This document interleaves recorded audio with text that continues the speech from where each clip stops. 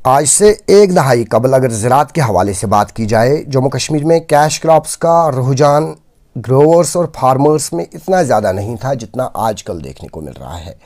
कुछ cash crops जैसे Saint geranium और रोज़मेरी, जिन्हें 1978 में कश्मीर के टंगमार्ग और बानोरा फार्म में डॉक्टर सोपती ने इंट्रोड्यूस किया, इन कैश क्रॉप्स का तेल एक्सट्रैक्ट करके बहुत सी बीमारियों का इलाज करने के लिए इसे इस्तेमाल किया जाता है।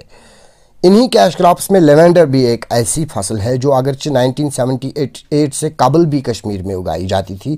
लेकिन इसके तेल की क्वालिटी उन दिनों उतनी ज़्यादा अच्छी नहीं थी, जिसकी वजह से इसकी प्रोडक्शन में कमी वाक़ा हुई।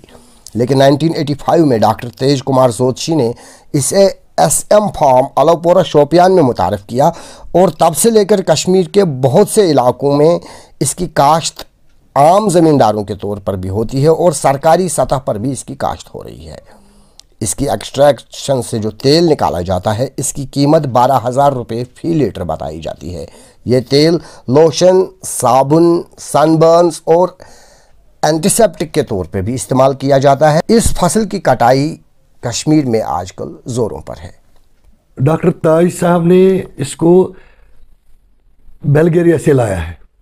बल्गेरियन रोज़ भी और ये लेवेंडर भी और यहाँ इंट्रोड्यूस किया है बूनोरा। बूनोरा में जहाँ ये R C C R C central research ये सेंटर है। तो इसमें एग्रीकल्चर का योगदान बहुत ज़्यादा रहा कि एग्रीकल्चर ने अपने जो जितने भी फार्म हैं, यहाँ जो अलोपोरा का है, बाकी जगह पर जोनपोरा में है तो वहाँ ज़मीन प्रोवाइड किया और वहाँ उन्होंने उसकी ट्रांसप्लांटिंग की। फिर वहाँ से यहाँ आया 1985 में यहाँ अलोपोरा में उन्होंने ये इंट्रोड्यूस किया। तो ये हम कहीं भी लगा सकते हैं। अभी तक हमने छः कनाल में हार्वेस्टिंग की है। तो छः कनाल में हमारा जो प्रोडक्शन आया है तो लगभग ग्यारह क्विंटल। ग्यारह क्विंटल के करीब हमारा जो प्रोडक्शन आया है। अच्छा इसकी ऑयल एक्सट्रैक्शन भी आप यहीं पे करते हैं। बिल्कुल जनाब। हिसाब से पूरा जो हार्वेस्टिंग कंप्लीट ये प्रोसेस होगी तो इसके बाद आपको क्या लगता है कितना ऑयल प्रोड्यूस कर सकते हैं जितना हमारा प्रोड्यूस निकलेगा क्योंकि ये जो पर क्विंटल के हिसाब से निकलता है हमें एक लीटर ऑयल पर क्विंटल के हिसाब से। एक क्विंटल में एक लीटर? एक लीटर। अच्छा इसकी मार्केट रेट क्या होगी? मार्केट वैल्यू डिपार्टमेंट की जो रेट है इसकी वो है बारह हज़ार। जो हर डिपार्टमेंट ने रखी है पर लीटर के हिसाब से बारह हज़ार रेट रखी है। अच्छा मुझे पता है इसकी कुछ मेडिसिनल वैल्यूज़ भी है या बिल्कुल जनाब। बिल्कुल जनाब ये जो है लोशन जो होता है आम इंसान जो यूज़ करता है लोशन उसमें भी सोप में भी।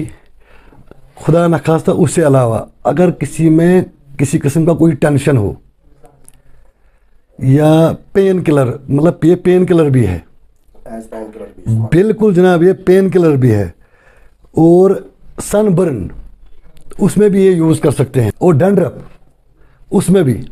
साढ़े आठ लाख यहाँ कटिंग लगाई है। सिर्फ़ इसीलिए ताकि हम ज़मींदारों में डिस्ट्रीब्यूट करेंगे, क्योंकि इसकी भी डिमांड है। ये कैश क्रैप है, हमारा जो ये हमने लगाई है लेवेंडर कटिंग, साढ़े आठ लाख हमने नवंबर, दिसंबर और फरवरी, मार्च में लगाया। अच्छा डिपार्टमेंट को छोड़कर बाकी आम ज़मींदार की अगर बात करें कहाँ तक ये काश्त हो रहा है? बहुत जगहों पे हो रहा है आज। बानहल में आज तक मतलब हुआ नहीं। इस साल वहाँ भी हुआ है बानहल जम्मू में। वहाँ भी हुआ है और वहाँ से बहुत डिमांडें आ रही है।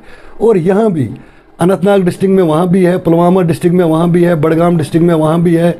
मतलब बहुत डिस्ट्रिक्टों में है। जो आम जमींदार। आम ज़मींदार। आम ज़मींदारों के पास है।